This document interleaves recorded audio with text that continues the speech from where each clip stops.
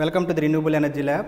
This research setup is to understand how grid-tied solar system is going to function. On the rooftop, we have two solar panels. Each one is 250 watt panel. So totally it has a 0.5 kilowatt solar system.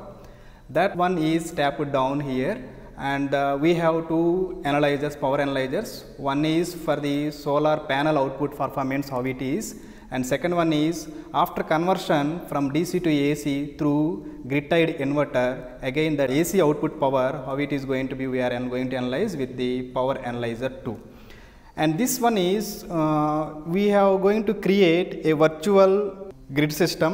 So the grid output voltage we can adjust. So by changing the voltage uh, it means the change in grid voltage we can simulate here so if you have a up and downs in grid voltage, correspondingly how grid tied inverter is changing its characteristics, we can see the uh, relation between the voltage synchronization in these two analyzers.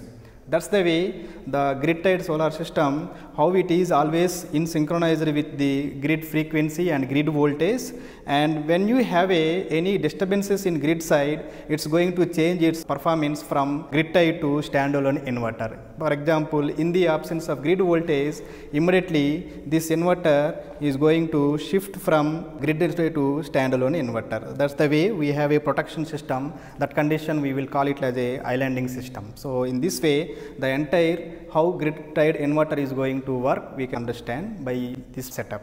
Thank you.